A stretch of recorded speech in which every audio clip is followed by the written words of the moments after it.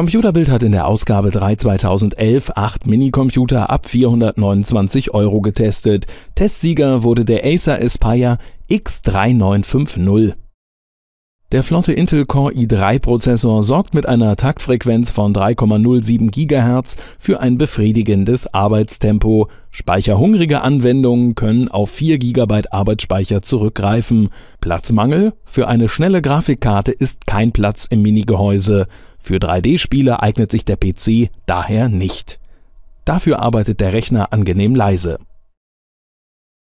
Ein DVD-Brenner ist an Bord, die Festplatte bietet 596 GB nutzbaren Datenspeicher.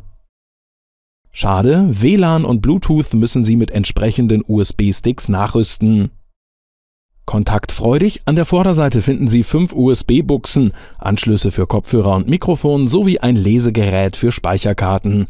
An der Rückseite finden Sie weitere USB-Buchsen, einen Netzwerkanschluss, einen analogen Ton-Ein- und Ausgang sowie Schnittstellen für Maus und Tastatur. Monitore und Fernseher schließen Sie per VGA, HDMI oder DVI an es ist sicherlich nicht der kleinste, ähm, er hat aber den schnellsten Prozessor integriert, hat ein insgesamt stimmiges System und Tastatur und Maus sind auch mit dabei, sodass man gleich loslegen kann. Das ist äh, generell ein Problem bei diesem Formfaktor, dass die Spielefähigkeit meistens nicht gegeben ist. Äh, es ist aber durchaus ein gutes Gerät für den normalen PC-Alltag. Windows 7 Home Premium in der 64-Bit-Version ist vorinstalliert. Der Acer Aspire X3950 wird mit Microsoft Office Starter, Maus und Tastatur ausgeliefert